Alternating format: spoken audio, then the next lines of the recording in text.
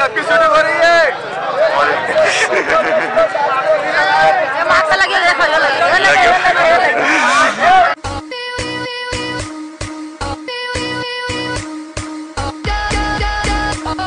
नमस्कार दोस्तों, मेरा नाम है विनय तिवारी और आप लोग देख रहे हैं मेरा YouTube channel Vinay Tiwari blogs तो दोस्तों, आज हम हैं विष्णु सरकार की रसोई में, जिसकी नींव हमारे एक में मनोज सर ने रखी है। तो जानते हैं मनोज सर के हर संडे का दिनचर्या। प्रत्येक रविवार की सुबह मनोज सर अपने घर से निकलते हैं देवासनाका स्थित मंडी के लिए, ताकि वह सुबह सुबह जाकर ताज़ी एवं हरी सब्ज़ियाँ ला पाएँ।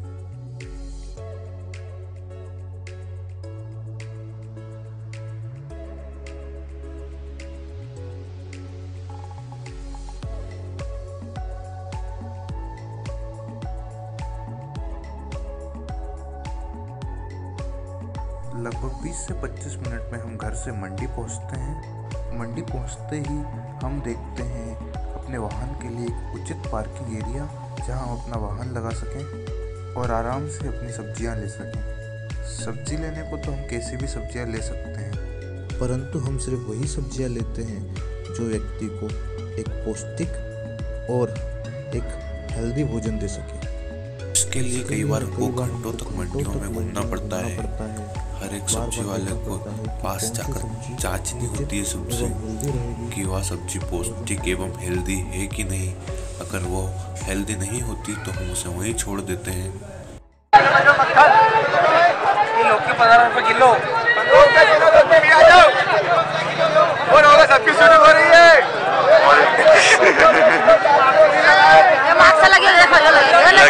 सबकी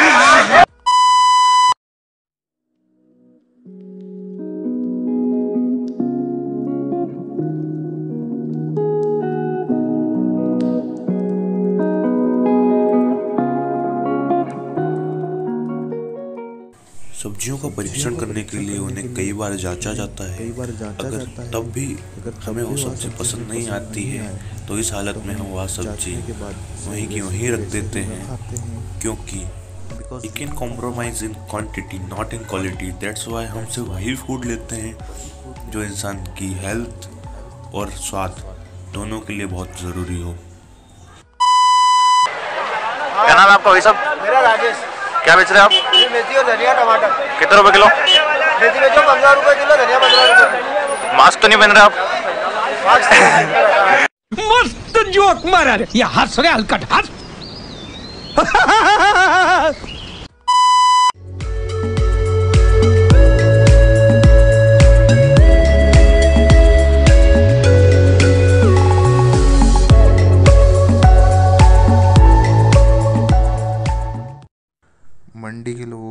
थोड़ी हँसी ठिठोली करने के बाद और अपनी पर्याप्त सब्ज़ी होने के बाद हम अपने घर की ओर बढ़ते हैं, तभी हमको ये भैया बाय बोलते हैं। लगभग दो से ढाई घंटे की शॉपिंग के बाद हम अपनी सब्ज़ियाँ वाहन में रखते हैं।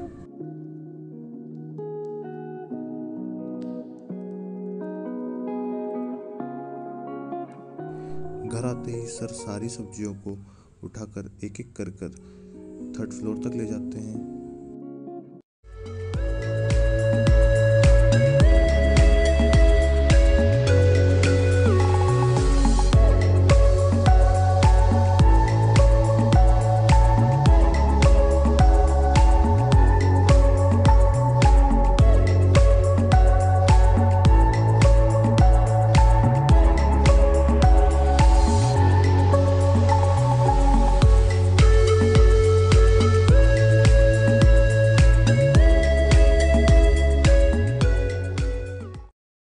सब्ज़ी आ चुकी हैं अब आगे की प्रोसेस अब आपको सर बताएँगे। तो सर अब आगे क्या करने वाले हैं अपन?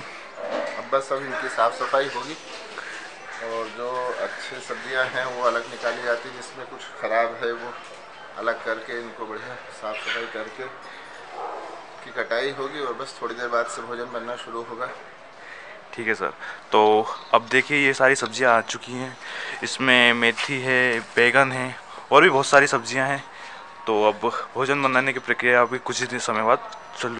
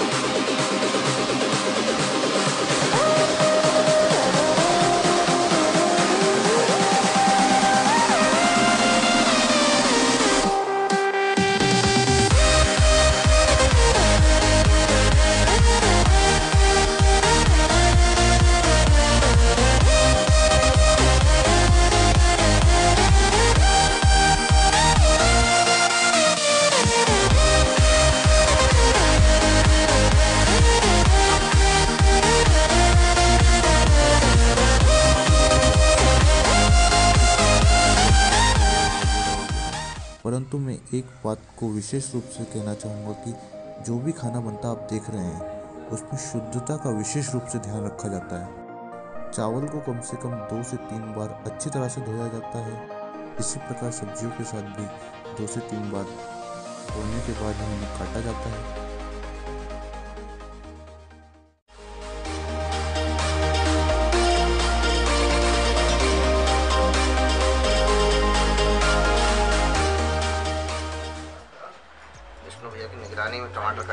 विष्णु भैया। है ना? गड़बड़ नहीं आना चाहिए, सारी चीज़ें अच्छी अच्छी होनी चाहिए। है ना? फिर सब खाएँगे। फिर सबको क्या होगा? मज़ा आएगा। क्या होगा मज़ा आएगा। विष्णु सरकार की रसोई बहुत स्वादिष्ट भोजन, है ना? सबको बहुत अच्छा लगेगा। सही है? गलत है। सही है। सही है टमाटर काटने के बाद अपन अब क्या बनाएँगे? चावल। चावल तो बन गया। सब्ज़ी। क्या बनाएँगे? और फिर चटनी। बढ़िया पुदीने वाली। है। ना? और अचार। अच्छा है है ना? अचार निकालेंगे बढ़िया। सबको खिलाएँगे है ना? अच्छा लगता है ना? कड़ी पत्ता है ना ये? मालूम है आपको क्या काम में आता है? हैं? अरे, इससे तो सब्ज़ी का फ्लेवर बनता है, प्लस दूसरा औषधि भी इसमें काम करती है। स्वाद के साथ साथ ये सेहत के लिए भी बहुत अच्छा है। इसलिए हिंदुस्तान में अधिकतर जो मसाले डाले जाते हैं, उनका कहीं ना कहीं सेहत पर बहुत अच्छा प्रभाव पड़ता है।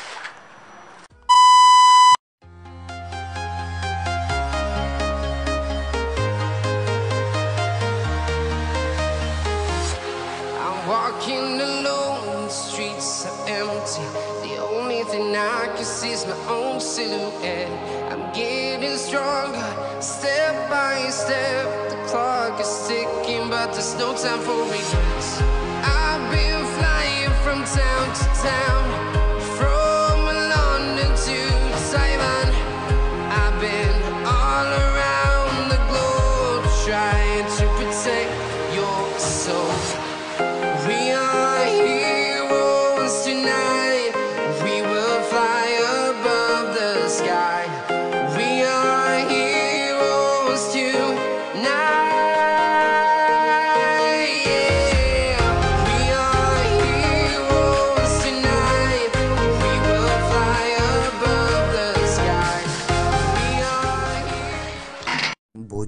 पूरी प्रक्रिया के बाद उसी समय बर्तनों को ठीक रूप से धोया जाता है।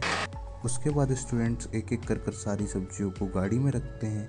गाड़ी में रखने के बाद गाड़ी जाती है विष्णु सरकार की रसोई की मेन प्लेस पर।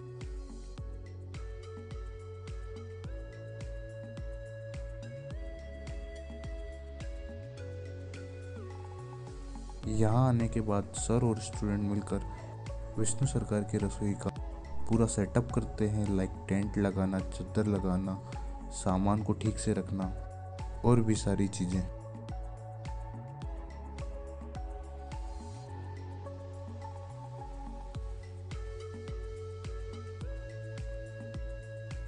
विष्णु सरकार की रसोई की शुरुआत भगवान के नाम से होती है, इसलिए सर सुबह सुबह आते से ही यहाँ पर अगरबत्ती लगाते हैं। और उसके बाद जो भी प्रक्रिया होती है, उसे शुरू करते हैं।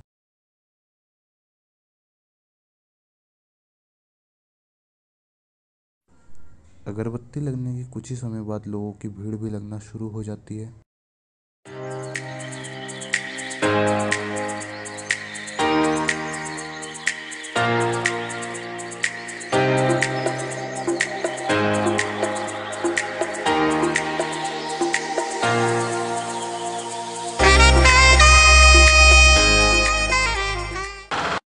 विष्णु सरकार की रसोई में खाना खाने के लिए आपको यहाँ आकर पाँच रुपये देने पड़ेंगे और आपको प्लेट मिल जाएगी? अगर आपके पास पाँच रुपये भी नहीं है तब भी आप भोजन ले सकते हैं आपको प्लेट मिल जाएगी जैसे इन अंकल को मिल गई। और उसके बाद आप भोजन का आनंद उठा सकते हैं। तो आइए कुछ लोगों से पूछते हैं कि विष्णु सरकार की रसोई के भोजन के बारे में उनकी क्या राय है? अंकल खाना किसका कैसा है? बढ़िया। ठीक है। ठीक है बढ़िया।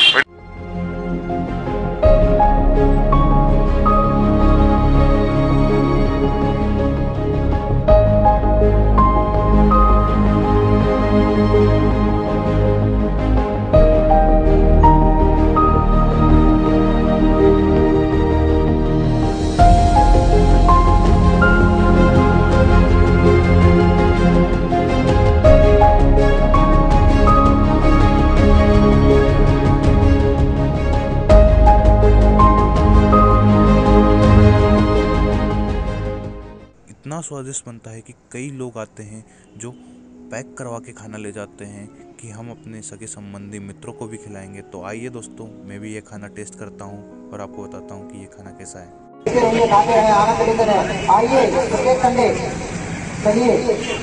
स्वादिष्ट खाना बना है। आप अगर इंदौर में रहते हैं संडे सैटरडे के बीच में हम कोई प्रोग्राम करते हैं। आप सुबह ग्यारह बजे से एक बजे के बीच में। आप यहाँ आ सकते हैं और ये स्वादिष्ट भोजन को टेस्ट कर सकते हैं तो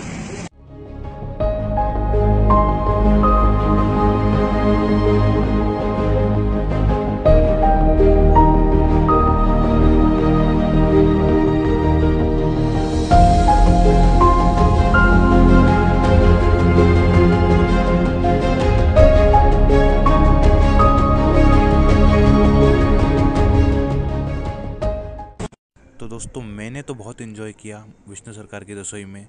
तो अब बात करते हैं मनोज सर से जिन्होंने विष्णु सरकार की रसोई शुरू की। मनोज सर विष्णु सरकार की रसोई की शुरुआत कहाँ से हुई? कोविड के बाद हमने देखा कि बहुत से ऐसे लोग हैं जो मूलभूत सुविधाएँ जैसे भोजन है वस्त्र हैं उससे भी वंचित हैं। तो समाज के अन्य लोगों को जोड़कर आप सबका सहयोग लेकर एक छोटी सी शुरुआत करी है जिससे कि लोगों को एक मूलभूत चीज़ें उपलब्ध हो सके। सर पाँच रुपए काफ़ी कम कॉस्ट नहीं है। इतने में तो आपका चम्मच प्लेट का कॉस्ट भी नहीं निकलेगा और इतने मतलब अच्छा स्वादिष्ट भोजन आप उसमें दे रहे हैं। पाँच रुपये का शुल्क हमने सिर्फ़ इसलिए रखा है कि व्यक्ति अपने के आत्मसम्मान के साथ भोजन ले और उसको यूँ नहीं लगे कि वह निःशुल्क ले रहा है।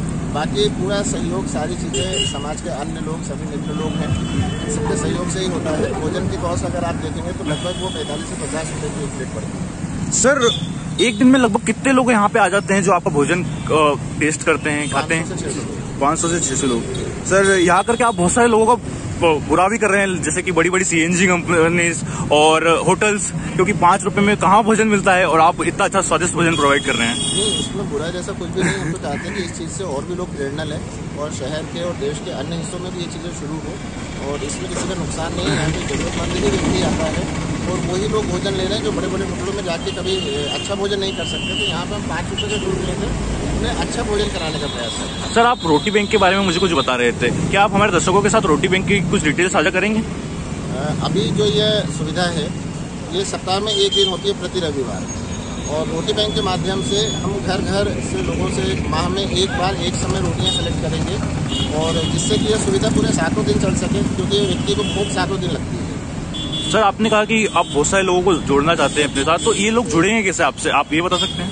ये एक दूसरे के संपर्क से मीडिया के माध्यम से जो भी हमसे जुड़ना चाहे तो विष्णु सरकार की रसोई का मोबाइल नंबर है seven triple zero six nine double one four one.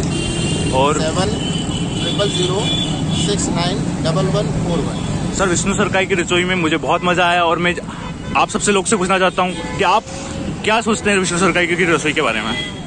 ये रसोई वाला जो काम शुरू हुआ है काफ़ी बढ़िया काम है और लोगों को भी मतलब ये अच्छी चीज़ है, लोगों को सही लग रहा है काम और और भी लोगों को ये काम करना चाहिए। ऐसे ही लोगों का सपोर्ट बना रहे तो विष्णु सरकार की रसोई के यूट्यूब चैनल को भी आप फॉलो कर सकते हैं सब्सक्राइब कर सकते हैं, और फेसबुक इंस्टाग्राम पे भी जल्दी हम आईडी बनाएँगे, जिनका लिंक आपको डिस्क्रिप्शन में मिल जाएगा। सर बहुत बहुत धन्यवाद।